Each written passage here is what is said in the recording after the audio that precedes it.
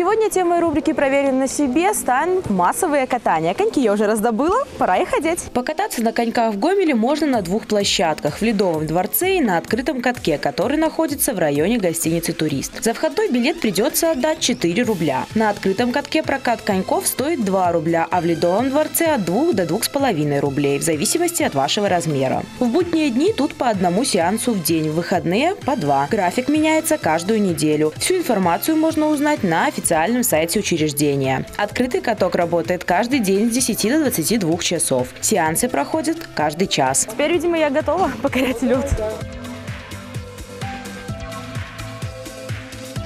За всю свою жизнь я была на катке раз шесть. И, за... и последний раз был вчера. Я как раз решила перед репортажем все-таки попробовать и встать на коньки. Из этого мало что вышло. Сегодня я попробую это сделать в Ледовом. Ну, будем надеяться, что меня будет ждать успех. Пойдемте на ледовый каток.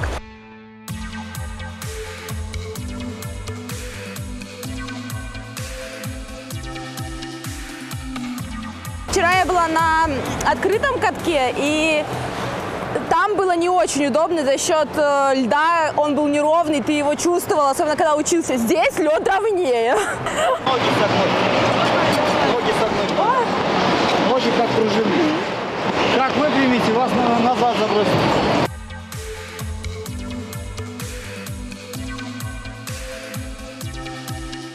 Вчера, когда у меня была шестая попытка, я думала, что будет все ужасно, но пока я не упала, держусь, и вроде как от бортика даже начала отрываться, и уже что-то как-то проезжать.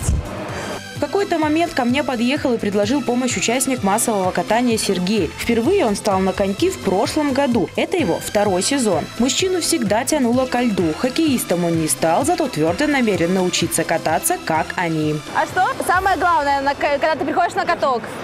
Самое главное интерес. Азарт какой-то. Я отдыхаю.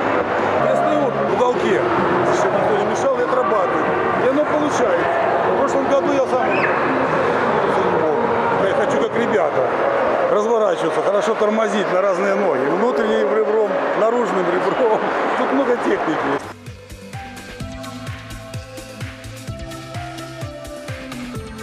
Ну вот, всю тренировку я пыталась, там, каталась с кем-то, пыталась сама, каталась у бортика. В последние минуты сеанса настало время X.